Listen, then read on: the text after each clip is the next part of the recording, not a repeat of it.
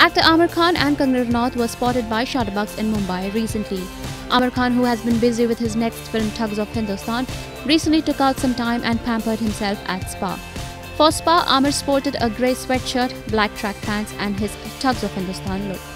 Directed by Vijay Krishna Acharya, the film also stars Katrina Kaif, Fatima Sana Sheikh and Amitabh Bachchan and slated to release on Diwali.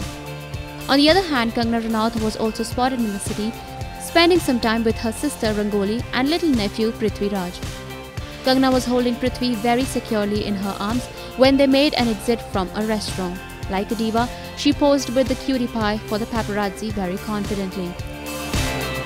On film front, Kangana took charge of her movie Manikarnika, The Queen of Jhansi, when Sonu Sood and director Krish walked out of the film.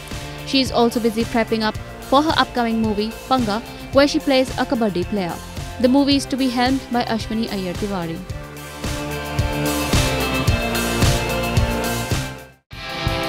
Subscribe to our channel. Just click on the bell icon for all the latest updates.